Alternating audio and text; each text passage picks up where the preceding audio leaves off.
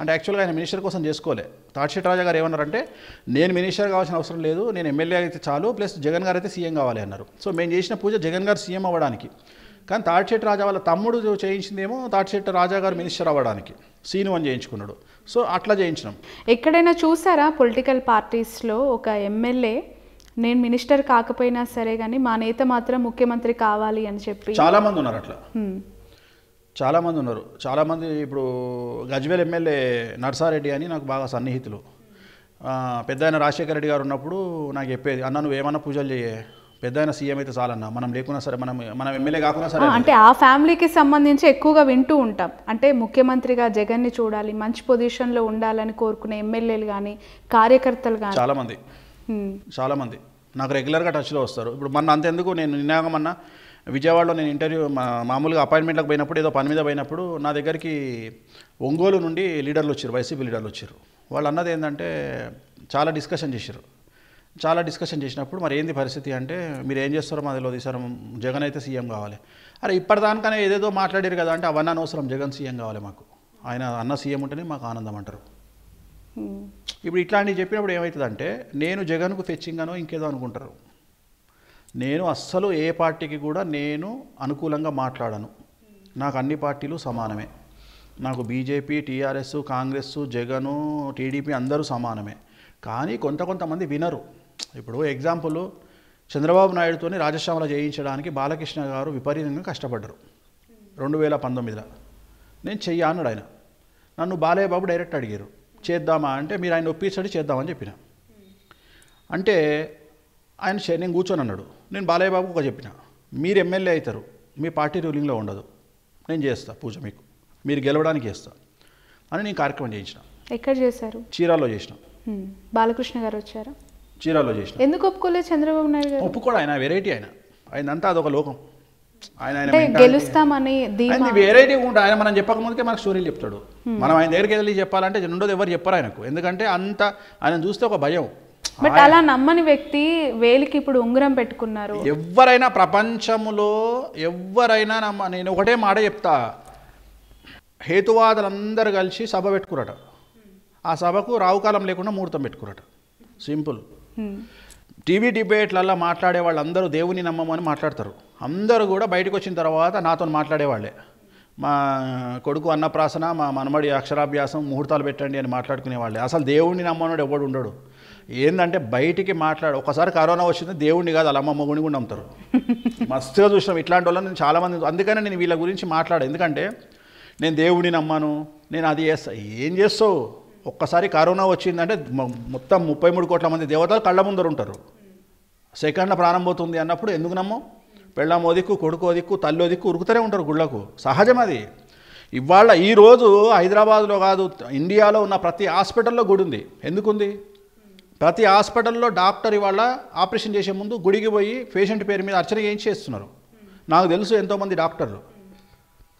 ఇప్పుడు వంశీరెడ్డి అని హైదరాబాద్లోనే అతి ఫేమస్ డాక్టరు యశోద హాస్పిటల్లో ఉంటారు. నాకు ఆత్మీయుడు నా కుటుంబానికి బాగా సన్నిహితంగా ఉండేటువంటి వ్యక్తి క్యాన్సర్ స్పెషలిస్టు. ఒక యాభై ఫైల్స్ నేను ఆయన కలిసి డిస్కస్ చేస్తున్నాం. అంటే ఒక యాభై మంది పేషెంట్లకు సంబంధించిన క్యాన్సర్ పేషెంట్లకు సంబంధించి ఆయన నాతో ఒక టెస్ట్ పెట్టిండు. ఏమనంటే ఈ యాభై ఫైల్స్ ముందర పెడతాడు.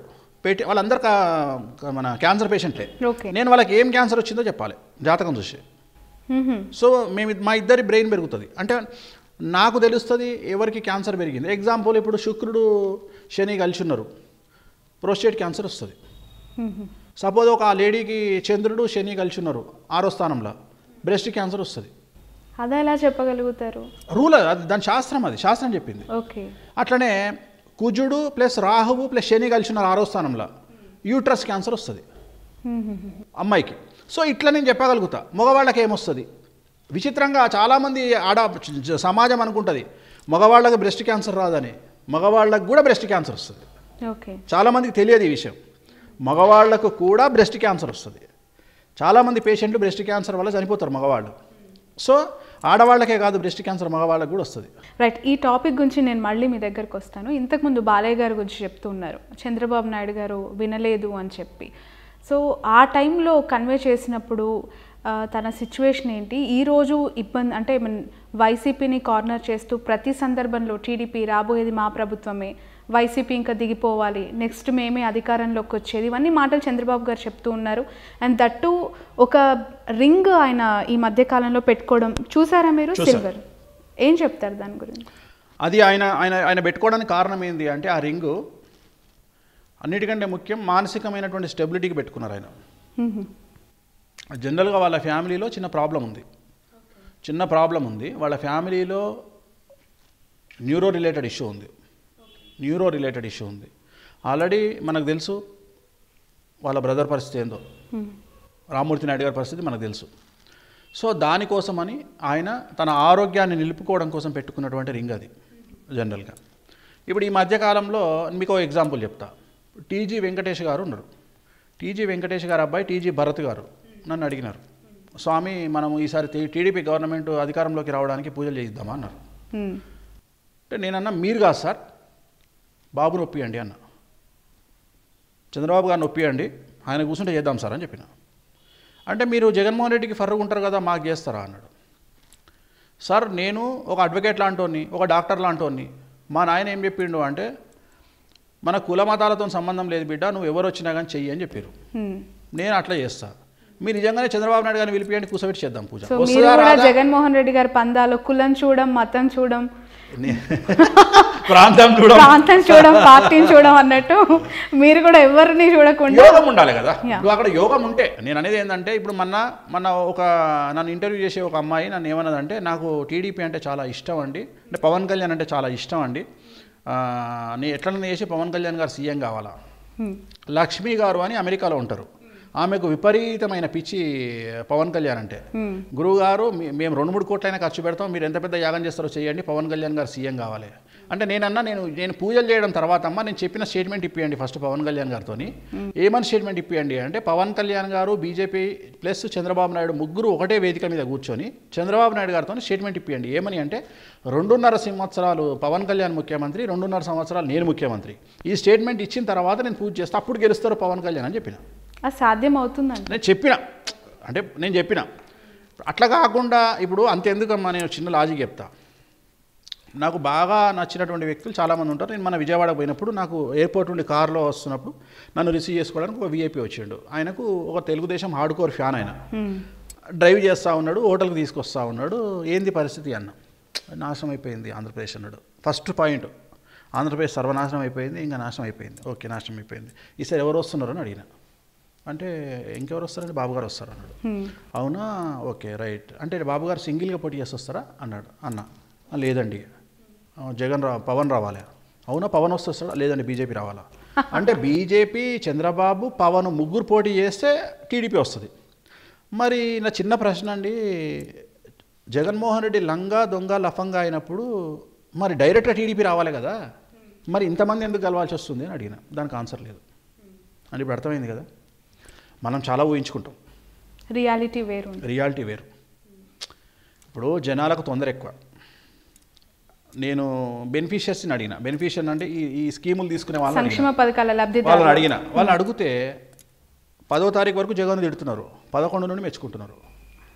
అంటే ఆ స్కీమ్ పైసలు వచ్చే వరకు తిడుతున్నారు. లేట్ అయితే. స్కీమ్ పైసలు చేతికి రాగానే దేవుడు అంటున్నారు.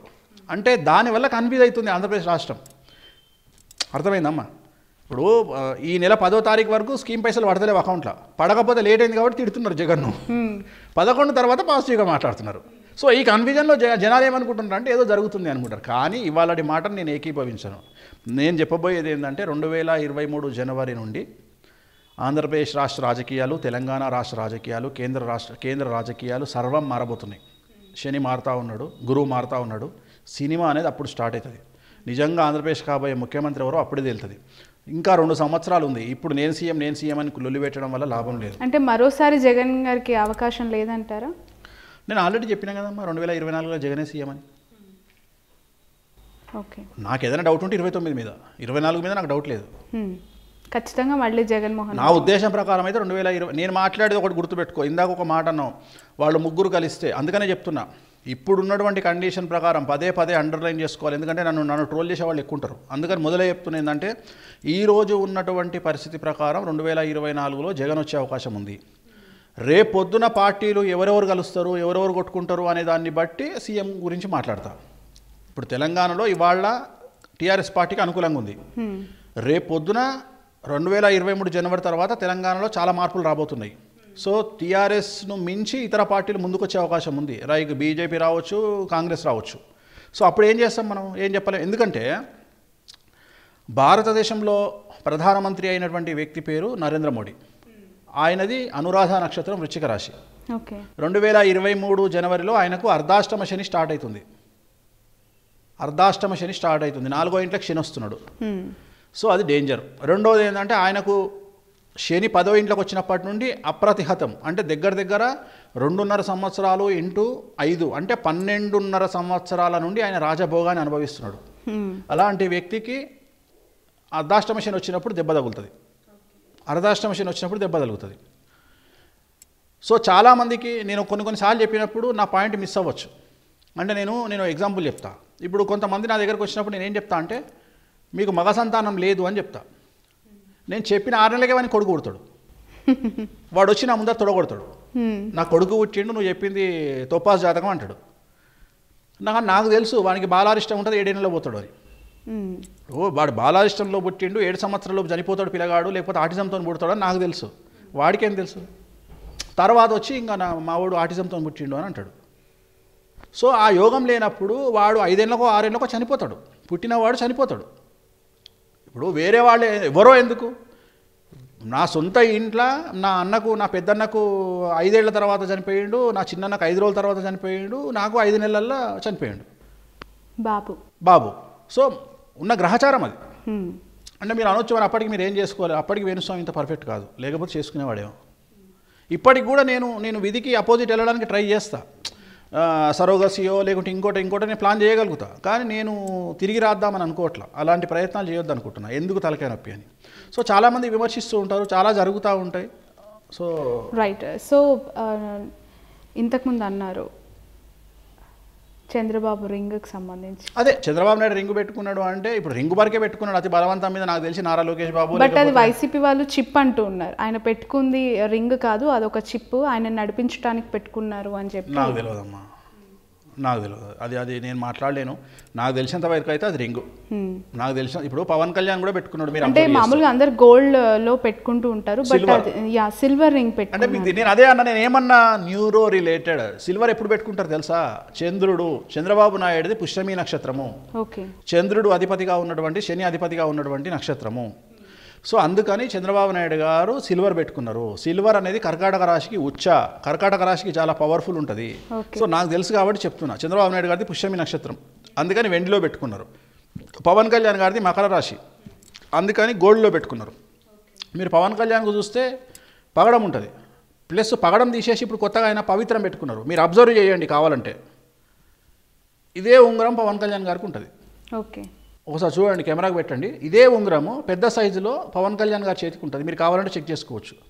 దీన్ని పవిత్రం అంటారు. ఓకే. జనరల్గా సెంటిమెంట్ ఇది పెట్టుకోవడం. ఇది మేము పెట్టుకుంటాం జనరల్గా. కానీ ఆయన కూడా పెట్టుకున్నారు. ఇదే ఉంగరం పెట్టుకుని దీన్ని పవిత్రం అంటారు. ఎందుకు ఎందుకు పవన్ కళ్యాణ్ గారు పెట్టుకోవడానికి కారణం ఏంటి? రాజయోగం కోసం పెట్టుకున్నారు. దీనికి లెక్క ఉంటుంది. నాలుగు గ్రాముల నాలుగు మిల్లీలు తొమ్మిది గ్రాముల నాలుగు మిల్లీలు.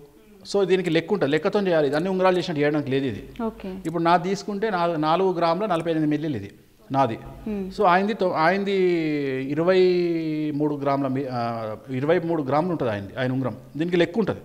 ఇది పవిత్రం అంటారు దీన్ని. మీరు ఆయన చేతికి చూడొచ్చు. సో అదే చంద్రబాబు నాయుడు చేతికి సిల్వర్లో పెట్టడానికి కారణం ఏంటంటే ఆయన పుష్యమి నక్షత్రం కాబట్టి సిల్వర్లో పెట్టుకున్నారు. ఓకే. అంతేగాని చిప్పులు గిప్పులు అవి నేను నమ్మలేను. రైట్ ఇంతకుముందు అమ్మవారి టెంపుల్కి సంబంధించి దశ మహావిద్యలు అన్నారు. అంటే ఏంటి అసలు దశ మహావిద్యలు ఏంటి వాటి డీటెయిల్స్ ఏంటి? ఎట్లా అమ్మవారికి అంటే మీరు వైన్ మాంసము ఇవన్నిటి గురించి చెప్తూ ఉన్నారు. పూజల్లో భాగం ఇవన్నీ అని చెప్తూ ఉన్నారు. దశ మహావిద్యలు అంటే పది. ఫస్ట్ తీసుకుంటే కాళీ కాళీ అమ్మవారు తెలుసు మనకు. తార త్రిపుర సుందరి ధూమావతి భువనేశ్వరి భైరవి చిన్నమస్త మాతంగి భగాళముఖి కమలాత్మిక. ఈ కమలాత్మిక అనే అమ్మవారు కమలాత్మిక కమలాత్మిక కమలాత్మిక అని కంటిన్యూగా పిలుస్తూ ఉండడంలో భాగంగా కామాఖ్య అయింది. ఓకే. ఆ కామాఖ్య పోయి కామాఖ్య అయింది. సో కామాఖ్య అనేటువంటిది అస్సలు అయినటువంటి దేవాలయం. దశ మహావిద్యలు అంటే వాటిని అంటారు. సో మరి వీటి వల్ల ఏమవుతుంది అంటే దశ మహావిద్యల వల్ల మనము మనకు సంబంధించినటువంటి ప్రతి ఒక్క విషయాన్ని మనం ఏదైతే అచీవ్ చేయాలనుకుంటామో అది చేయొచ్చు. ఉదాహరణ ఇప్పుడు సినిమా ఇండస్ట్రీలోకి వచ్చేటువంటి అమ్మాయిలు ఎవరైతే ఉన్నారో వాళ్ళు సక్సెస్ కొట్టారంటే దశ మహావిద్యాలలో రాజశ్యామల చిన్నమస్త తార. ఇప్పుడు చాలామంది నేను రష్మిక మందన్ అనే హీరోయిన్కి పూజ చేసినప్పుడు నన్ను విమర్శించారు. ఆ అమ్మాయికి అసలు అందమే ఉండదు. ఆ అమ్మాయి పూజ చేసి హీరోయిన్ అంటున్నారు మీకు పిచ్చిలేసింది దానికి పిచ్చిలేసింది ఇవాళ చూస్తే అమ్మాయి నేషనల్ క్రష్.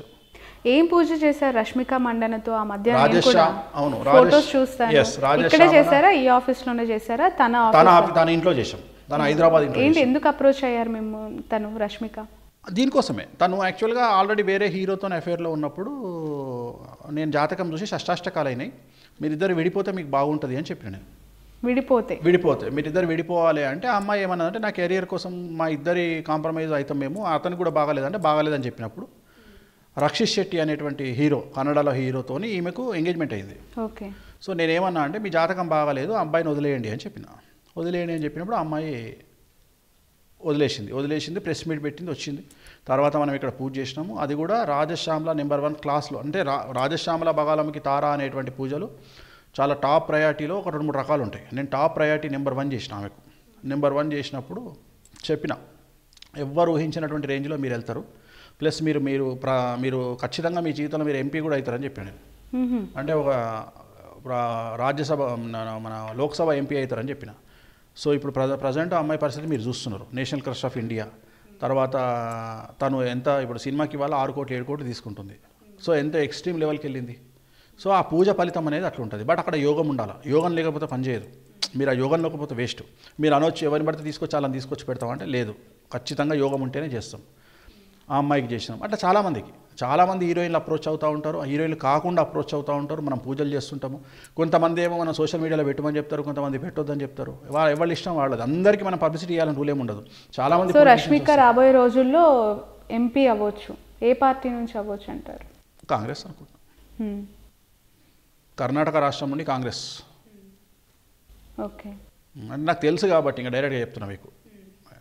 కర్ణాటక రాష్ట్రం నుండి కాంగ్రెస్ పార్టీ నుండి అవుతుంది. తనకు యోగం ఉంది. ఇప్పుడు తను రమ్య అని తను కుత్తు రమ్య అని పనిచేసింది. రాజీవ్ గాంధీ రాహుల్ గాంధీ గారి సోషల్ మీడియా టీంలో పనిచేసింది ఎంపీగా పనిచేసింది. ఓకే. మీకు ఐడియా ఉండుంటుంది కన్నడ హీరోయిన్ కుత్తు రమ్య. సో తను కూడా ఈమెలాగానే అంటే ఈమె కూడా ఆమెలాగానే ఖచ్చితంగా ఎంపీ అయ్యే అవకాశం ఉంది. రష్మిక మదన. ఓకే. సో అట్లా మనం యోగం ఉన్న వాళ్ళకు మినిస్టర్లకు ఎమ్మెల్యేలకు చాలామందికి చేస్తాం. ఇప్పుడు చాలామంది అంటారు ఇప్పుడు మీరు ఇందాక ఒక మాట అడిగారు క్రిస్టియన్స్ ఎవరైనా మీ దగ్గరికి వస్తారా అని. ఒక ఎమ్మెల్యే నందికొట్కూరు ఎమ్మెల్యే. మ్మ్. ఆర్థర్ ఆర్థర్ తను నా క్లయింట్ ఓకే. ఆర్థర్ గారు నా క్లయింట్ ఎందుకు బైరెడ్డి సిద్ధార్థ రెడ్డితో పడట్లేదని మీ దగ్గరకు వచ్చారా? అంతకుముందే ఓకే. ఆయన ఎమ్మెల్యే కావడానికి పూర్వమే నేను ఆయన కార్యక్రమం చేయించిన. ఎమ్మెల్యే కావడానికి. ఎమ్మెల్యేగా గెలవడానికి నేను కార్యక్రమం చేయించిన. ఆర్థర్ ఆయన పేరు. బై నందికొట్కూరు ఎమ్మెల్యే ఆర్థర్ గారు. చాలామంది అట్లా చాలామంది ముస్లిమ్స్ వస్తుంటారు చాలామంది వస్తుంటారు. మనం నాకు అదంతా అనవసరం. నాకు నాకు వచ్చిన వాళ్ళు సక్సెస్ కావాలి అనేది నా పాయింట్ తప్ప అది నాకు పెద్ద విషయం కాదు. ఓకే. వచ్చే అంటే మీ దగ్గర ఆస్ట్రాలజీ తీసుకోవాలని లేదంటే మిమ్మల్ని కన్సల్ట్ అవ్వాలనుకునే వాళ్ళ దగ్గర ఏం చూస్తారంటే మీది చూస్తే ప్రొఫైలు సినీ పొలిటికల్ ఆస్ట్రాలజర్గా మీరు ఎస్టాబ్లిష్ అయ్యారు సొసైటీలో ఇంకా ఎలాంటి వారికి మీరు చెప్తూ ఉంటారు? నార్మల్ పీపుల్ అందరికీ చెప్తాను నేను. నేను చెప్ నేను ప్రతి ఒక్క మనిషికి చెప్తా నేను. నేను ప్రతి ఒక్క మనిషికి నార్మల్ బీద వాళ్ళకి చెప్తా డబ్బు లేని వాళ్ళకి చెప్తా తినడానికి తిండి లేని వాళ్ళకి చెప్తా. చాలామందికి చెప్పినప్పుడు కొంతమంది నమ్మకం సరిపోదు వాళ్ళకు. కొంతమందికి నేను చెప్తా ఉంటాను. నా దగ్గరకు వచ్చేటప్పుడు చాలా హడావిడిగా వస్తారు. చాలా హడావిడిగా వస్తారు. వచ్చినప్పుడు నేను వాళ్ళని చూసి నీ జీవితంలో నువ్వు ఎమ్మెల్యే కాలేవు అంట. అని అంటే ఇక అతను ఫోటోలు చూపిస్తాడు. చూసినావా? నేను ఇగో పలాని ప్రెసిడెంట్ నా దగ్గరనే కూర్చుంటాడు. మా ఇంటినే భోజనం చేస్తాడు అంటే నీ ఇంట్లో సీఎం కూర్చున్నా సరే నువ్వు ఎమ్మెల్యేగా ఒప్పు అంట. అని చెప్పేస్తాడు డైరెక్ట్ అట్లనే హీరోయిన్లు అమ్మాయిలు వస్తారు. చాలామంది అమ్మాయిలు ఏంటంటే వాళ్ళు వాళ్ళ ఎంతో ఆశతో వస్తారు. మీకు ఆ యోగం లేదు వదిలిపెట్టుకుని ఎటైనా హెచ్ఆర్ పని చేసుకోండి అని చెప్తా. ఎందుకంటే ఉన్నది ఉన్నట్టు చెప్పడం నాకు అలవాటు. వాళ్ళు నిజంగానే వాళ్ళకి ఆ యోగం లేకపోతే నీకు యోగం లేదని చెప్పేస్తా. అందరికీ పొలిటి మ్యాక్సిమం నా దగ్గరకు వచ్చేవాళ్ళు బిజినెస్ మ్యాన్లు ఎక్కువ వస్తారు.